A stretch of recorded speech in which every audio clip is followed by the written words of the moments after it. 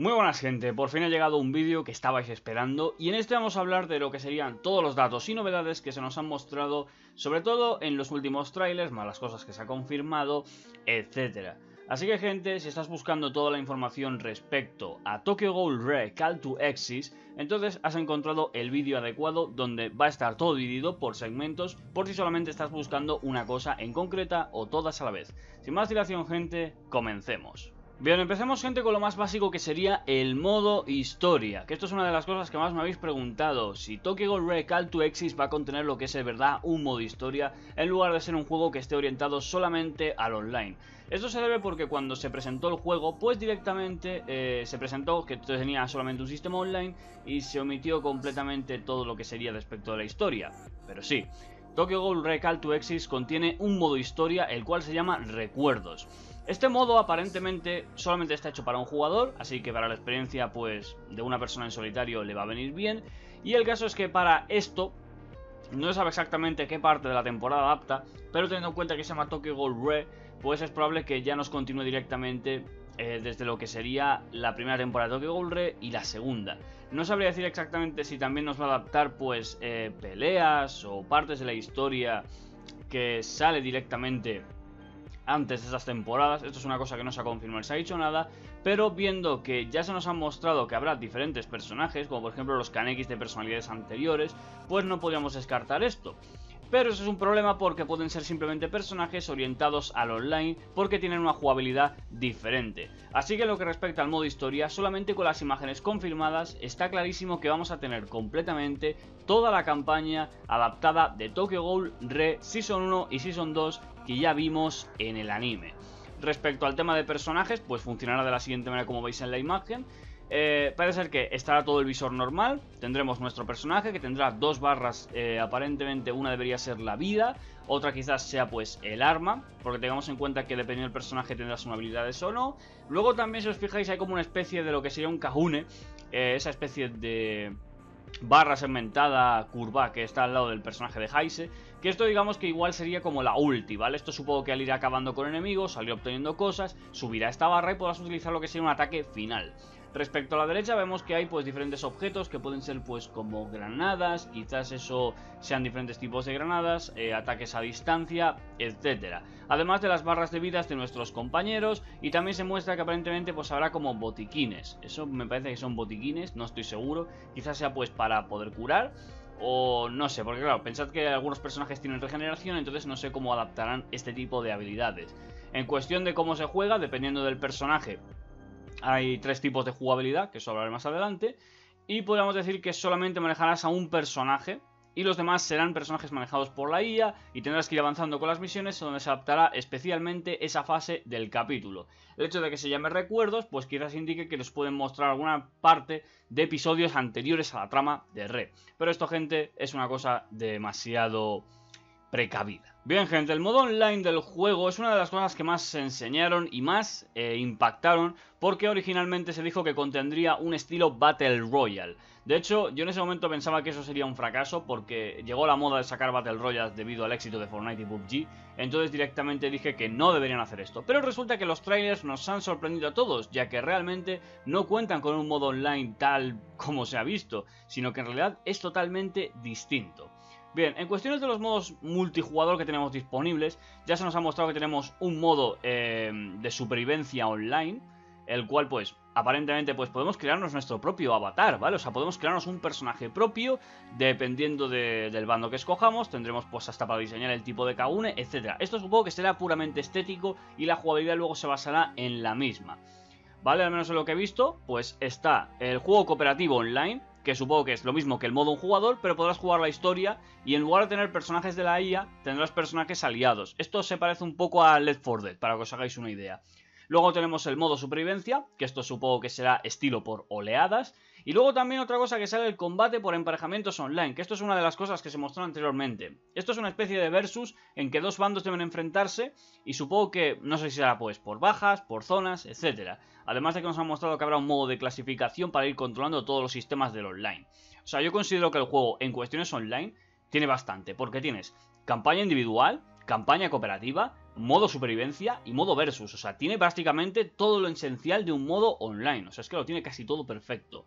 Y el hecho de incluir un avatar, pues es una cosa que también me impresiona, porque no solamente puedes escoger para ser tus personajes, sino puedes crear el tuyo mismo, y lo cual esto es una cosa que va a alegrar muchísimo a los fans. Si estás buscando la fecha de lanzamiento, ya ha salido la fecha oficial porque se tuvo que retrasar el juego por PX problemas. Sobre todo, para la fecha final será 15 de noviembre de 2019. Es decir, no queda precisamente mucho para que salga. Ya se nos ha confirmado que tendremos una edición estándar por unos 60 euros. En algunos sitios está por 70, como es como Amazon, por ejemplo, o Vida Extra. Y la verdad es que me sorprende. A ver, tengamos en cuenta que normalmente este tipo de juegos no suelen estar al mismo precio que otros pero está ofreciendo bastante bien. En respecto si van a contener una edición limitada o edición coleccionista, de momento no se ha mencionado nada. Supongo que mm, algunos juegos de este estilo sí lo puede contener.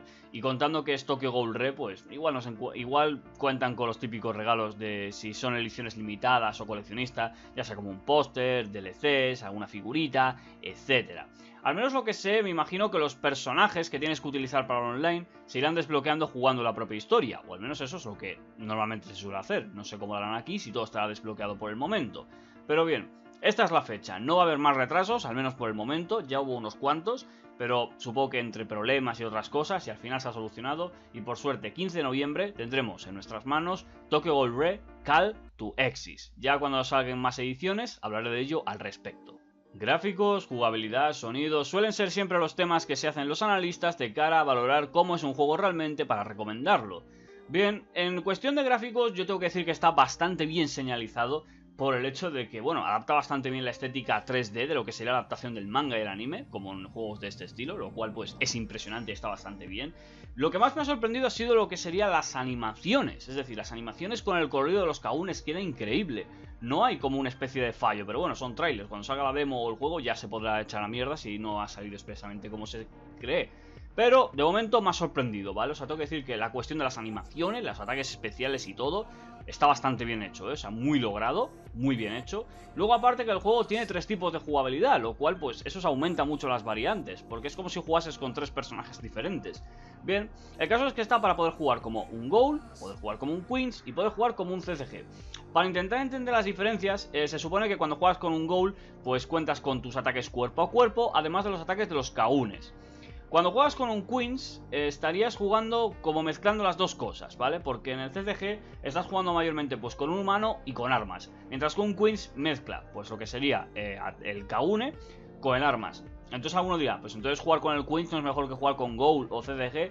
No del todo, porque piensa que cada uno tiene una ventaja que otra. Por ejemplo, los Goals pueden utilizar los kaunes y supongo que físicamente, en cuestiones de ataques cuerpo a cuerpo, siempre serán mejores. Mientras que los del CDG serán más útiles con las armas, además de que no solamente podrán llevar eh, su propia arma, el Quinque, sino que podrán llevar armas arrojadizas y más cosas, como se los muestra. Mientras que el Queens, digamos que es una especie de intermedio, es decir, si quieres utilizar tanto Kaune como una arma, pero no tendrás la ventaja de las dos. Es decir, no contarás a lo mejor con un cuerpo fuerte fuerte para enfrentar a un Goal, pero tampoco tendrás armas arrojadizas. Al menos en lo que he podido llegar a ver, todo dependerá del tipo de arma, del tipo del personaje, porque todo funcionará pues supongo que por stats, etc. Pero de momento ya me está llamando bastante la atención. Puedo señalar que los goals, por ejemplo, son mucho más fuertes en cuerpo a cuerpo, los del CDG son mucho más útiles para acabar con ciertos enemigos, y los queens digamos que serían ese nivel intermedio. No creo que haya un nivel de dificultad para esto, sino simplemente pues es una validad para poder jugar. En cuanto a personajes que ya se nos habían mencionado, o sea, es que hay bastantes, o sea, tendremos a, Toru, a Ginsi, Heise, bueno, más sus variantes, que imagino que está, que al menos en lo que se he visto, pues está la variante del One A King, eh, Black Reaper, entre otras cosas, también está Psycho, también está Cookie, es que hay un montón, ¿eh? O sea, hay un montón de personajes. De momento todos los personajes, al menos principales, que se nos han mostrado, están. Bueno, y sin también contar a Touka. El de un solo ojo ha sido mostrado como jefe en el modo historia, pero no sé si se va a poder utilizar. Pero bueno, contando que Arima estará, lo más seguro es que sí. Vale, si ya te has leído todos los apartados o al menos uno, o directamente quieres saltar a lo que es la información final, entonces vamos a hablar de si el juego realmente es recomendado. Bueno, yo ya he evaluado lo que sería el modo historia, el cual pues me gusta bastante porque ya que tiene un modo historia, pues vas a poder jugar tú solo si quieres y revivir esas escenas. No, me parece que no va a haber lo que sería animaciones o cinemáticas, al menos lo que parece por el tráiler. y supongo que nos limitaremos pues a unas pocas imágenes puestas, parecido a este vídeo, y que simplemente pues estarás jugando a las misiones de una forma similar a las del online, porque básicamente será casi lo mismo. Las cuestiones del online, pues me han impresionado, la fecha de lanzamiento que esté bastante cerca, eso ayuda mucho a decidirte, y sobre todo su tema de jugabilidad, gráficos, habrá que ver la banda sonora y si nos van a poner el, opening, o sea, no, sé si nos van a poner el opening, pero ojalá que lo hagan.